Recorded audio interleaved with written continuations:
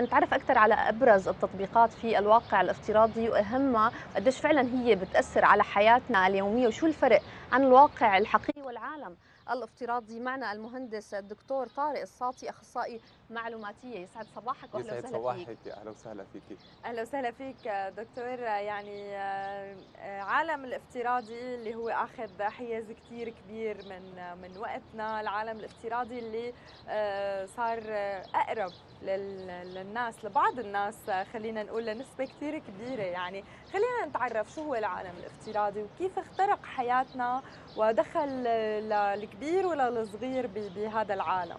هلا بالبداية أنا حابب إني أحكي عن تعريف الواقع الافتراضي أوكي. يعني من مفهوم من من وجهة نظر أكاديمية شوي. الواقع الافتراضي إنه نحن نحسن نخلق بيئة هالبيئة بتكون افتراضية بشكل كامل. آه، من خلال هالبيئة بنحاول نغمس المصطلح غمس هو المصطلح العلمي غمس الأشخاص بهي آه، البيئة من خلال مجموعة تقنيات الواقع الافتراضي. آه، من تقنيات الواقع الافتراضي؟ نظارة الواقع الافتراضي طبعا في تقنيات كثيره اشهرها نظاره الواقع الافتراضي. آه، من تقنيات الواقع الافتراضي آه، بسموه ال VR مثلا. بتروحي على على المولات هلأ بيقولوا لك هي اللعبه لعبة VR فبيكون فيها كرسي هالكرسي فيه رجاجات بميل مثلا. هذا نوع من أنواع الغمس للشخص بالواقع الافتراضي. طبعا في تقنيات كثيره مع تطور العلم. صحيح. آه، صار في تقنيات ممكن من خلال مثلا مسكات للواقع الافتراضي بتحسني إنك تكوني موجودة أكثر بالواقع الافتراضي. هلأ مع الواقع الافتراضي فينا نحكي عن مصطلح ثاني اسمه الواقع المعزز. م. الواقع المعزز هو بالواقع الافتراضي نحن عم ناخذ بيئة ونحاكيها بشكل كامل افتراضيا. وفينا نسميه واقع ولا عالم؟ آه واقع, آه واقع. افتراضي. بالإنجليزي اسمه virtual reality آه بالمصطلح الثاني يعني العالم الافتراضي بظن إنه نحن آه، أوسع أوسع إذا كنا عم نحكي عن الواقع الافتراضي. فالمصطلح الثاني هو الواقع المعزز ال augmented reality اللي هو بيدخل الواقع مع آه، يعني بيعمل إدخالات على الواقع. مثلا نحن موجودين بهالمكان الجميل المتحف الوطني. آه، لو بدنا نمثل الواقع الافتراضي على على المتحف الوطني نحن بنروح بنعمل محاكاة كاملة عن طريق الكمبيوتر للمتحف الوطني. واللي حابب يزور المتحف الوطني ما بالضرورة إنه يجي على دمشق ممكن يزوره بدمشق. ممكن من خلال نظارة الواقع الافتراضي فعلا يحسن آه، يتجول ب بالمتحف الوطني. بس ولكن ما في استمتاع ما في مثل الحقيقة تماما. يعني هلا وقت بنحكي عن الواقع المعزز. الواقع المعزز أنا نفسه المتحف الوطني ممكن إنه الزائر للمتحف يحط نظارة الواقع المعزز. هلا نظارة الواقع المعزز بتعطيه إمكانيات كثير أحيانا بنشوفها بالأفلام إنه بحط نظارة هي النظارة بتصير كتابات بتنزل على الشاشة. فممكن مجرد إنه قرب قدام تمثال أو قدام آه، آه، منحوتة, أو, أو شيء. فممكن مثلا هي نظارة الواقع الافتراضي تعطيه ملخص إنه هي مثلا تاريخها آه، مثلا من أي عهد تعطيه معلومات كاملة عن عن هي المنحوتة أو فكمان بتصير التجربة ممتعة أكثر بوجود الواقع المعزز. طبعا تطبيقاتهم كثيره إن كنا عم نحكي عن الواقع الافتراضي ولا الواقع المعزز. خلينا نحكي عن تطبيقات يمكن اللي بتخص مجال التعليم. قديش مهم فعلا نحن يمكن نستثمر هي التكنولوجيا بشيء إيجابي يعني نقدر نستثمرها بحياتنا اليومية. بما يخص تطبيقات التعليم خلينا نحكي عن الواقع الافتراضي. أه، هلأ تقنيات التعليم أو التعليم الافتراضي آه، هو نحن أخذنا فكرة إنه نحن نخلق بيئة افتراضية اللي هو عبارة عن الصف الافتراضي.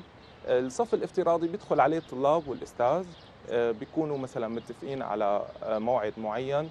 مثلا نحن عندنا بالجامعة الافتراضية أنا مدرس بالجامعة الافتراضية فبيكون في مواعيد للجلسات مثل التعليم التعليم النظامي بيدخلوا بهذا الوقت واحيانا بنسجل الحضور إيه؟ وغياب. فمن خلال هذا الصف الافتراضي بيعطي تفاعل بين الأستاذ والطلاب. آه، بحيث إنه ممكن يكون صوت ممكن يكون صورة آه، ممكن شرح مثلا على المادة التعليمية من خلال هذا الصف الافتراضي. آه، في تقنيات بالصف الافتراضي بترفع مستوى خلينا نقول حضور الطالب. مثلا ممكن الطالب بلحظة بده يسأل سؤال بيفتح له المايك. ممكن بده مداخلة بيرفع إيده. فنوعا ما بما أنه الواقع الافتراضي بالبداية وقت كنا عم نحكي عن الواقع الافتراضي كنا نحكي عن العاب ما العاب بلشت تستثمر مثلا بالتعليم خاصة مثلا مع جائحة كورونا. آه، صار التعليم الافتراضي هو الوسيلة. وسيلة كثير مساعدة. يعني اليوم في طلاب كثير صرنا نتواصل معهم من خلال من خلال الإنترنت من خلال هي الصفوف الافتراضية. وصرنا نحسن نوصل المعلومة للطالب نحسن نتابعه نحسن يشارك معنا ف مثلا الصف الافتراضي إذا كنا عم نحكي هو شيء كثير مهم نعم. كمان من تقنيات التعليم ممكن مثلا يستخدم الواقع المعزز بالتعليم مم. يعني مثلا ممكن الطبيب بدل ما يفوت على المشرحة ويشرح مثلا جثة ممكن إنه يكون في برامج بالواقع الافتراضي آه، تحسن تعطيه نفس ال ال المنظور نفس النتيجة. هلا طبعا ما بتكون بالمية مية لأنه دائما وقت بيكون في شيء فيزيائي بيكون في شيء محسوس بيكون في شيء آه، آه، طيب يعني دكتور هون خلينا أفضل. نحكي على نقطة. يمكن هذا العالم هو مثل ما ذكرت من شوي هو اجتاح كثير تفاصيل حياتنا إن كان بالعلم إن كان باي شيء بدنا بدنا نوصله ما قادرين.